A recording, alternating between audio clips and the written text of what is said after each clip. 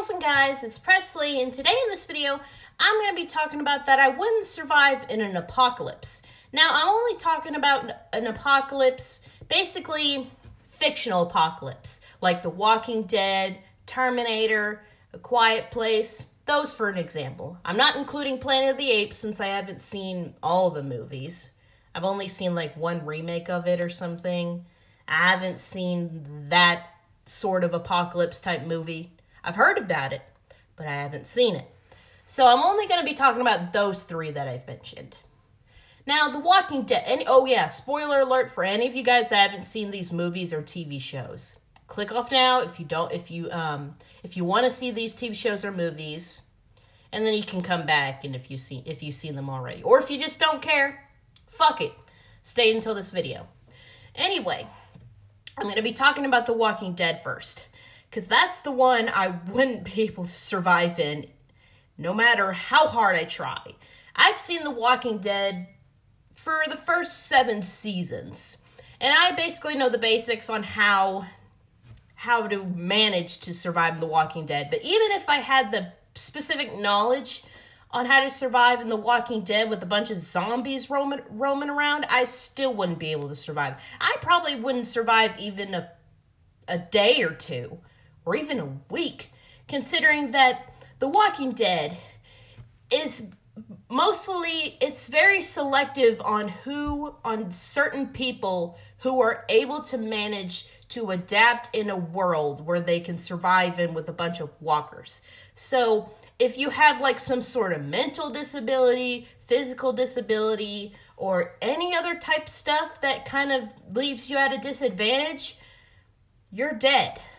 Whether the walker gets you or a random human gets you, or hell, even if starvation or dehydration gets you first, you wouldn't be able to make it. Like for me, for an example, I wouldn't be able to make it because for me, being autistic myself, I'm a picky eater.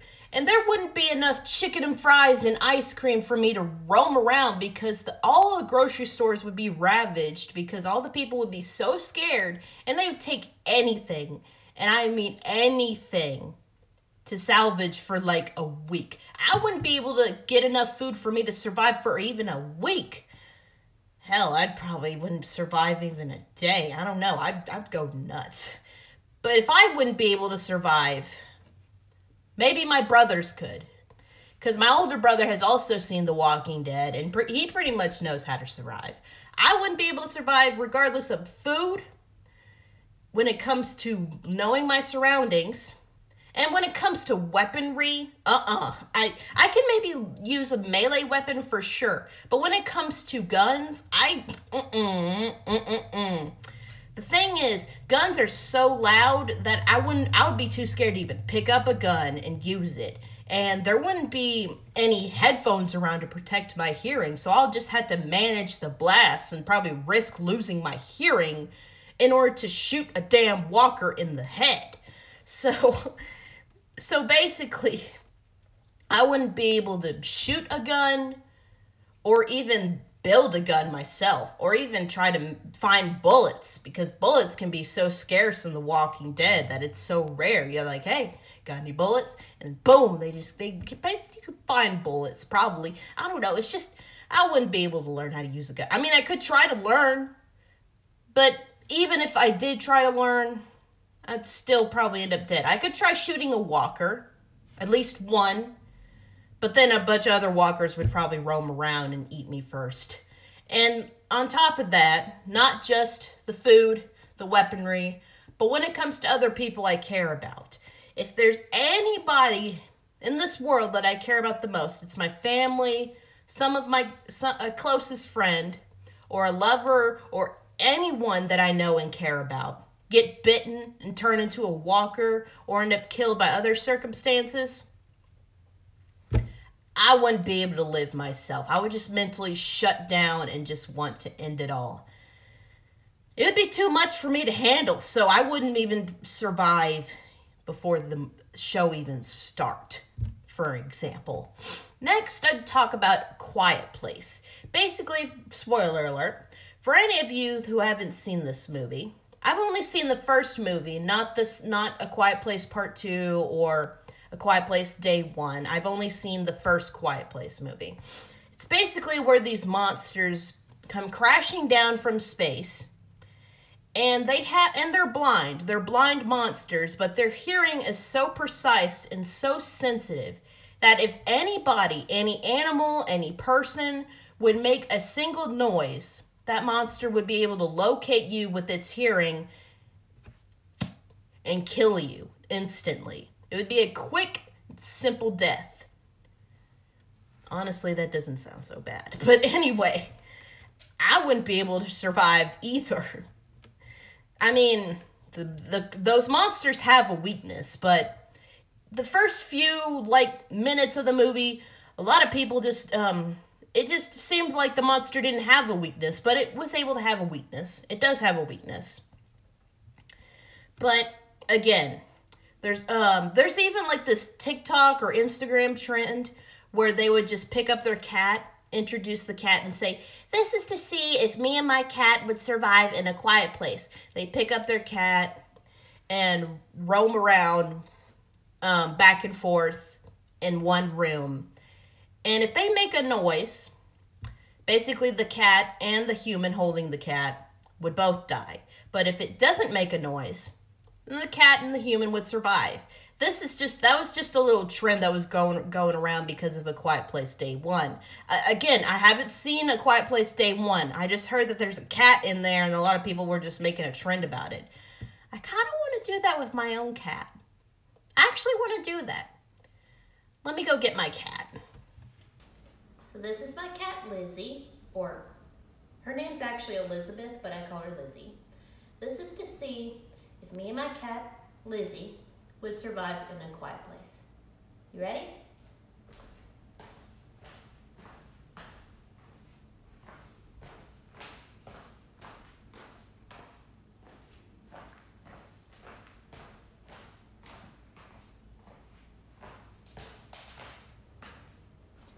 Yep, we would survive.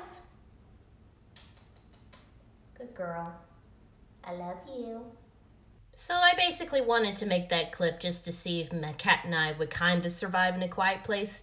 But if it was real, there's no way my cat and I would survive in a quiet place. Because as soon as I put her down, she immediately started meowing to go back outside. So honestly, I don't blame her. She went back and she just wanted to get inside, get a drink of water. Then I used her for this little trend. And then I immediately put her back out. So yeah, cats just don't know what they want. They just have the constant thinking of who do I want to go back in? Do I want to go back out? In, out, in, out. They can't make up their own minds. Not even my cat wants to know what she wants to do. She just she's just out she's staring at the door, staring inside, staring outside, the just by the door, deciding whether she wants to go in or go out. So, my cat and I would probably survive maybe a few seconds. And then as soon as she starts meowing to go outside or go inside, we're dead. we're basically dead. So that's it for A Quiet Place. Now for Terminator, oh god. I have a weird feeling that this whole Terminator apocalypse thing might happen in real life, considering what's going on with AI at this point in time has nobody watched the Terminator movies or any other sci-fi AI movie like 2001 A Space Odyssey or something? I don't know. I haven't seen that movie. I just heard there was an AI in it or something like that. I just just shit, if we ever go into like in a Terminator apocalypse just because we built AI to make it so smart. They even made AI to the point where you can even talk to it like it's an actual person. Or someone could use AI to disguise their voice as someone you recognize. So if you end up talking to your mom on the phone and it turns out it was just an AI, hackers would be having a fucking blast trying to trying to fit in some AI shit just so they can hack into other people's systems. And I'm thinking, mm-mm, why are you making AI? You're giving the hackers an advantage because hackers in this world, thanks to technology, hackers exist. So, whoever invented AI needs to dial it back a bit. need to slow down on it or try not to make AI too intelligent. Or matter of fact, they even they're even making robots at this point. Don't even think about pushing them around just and see just to see if they could just walk and function. Because if you push a robot around, it could probably develop AI intelligence and push us back. Who knows?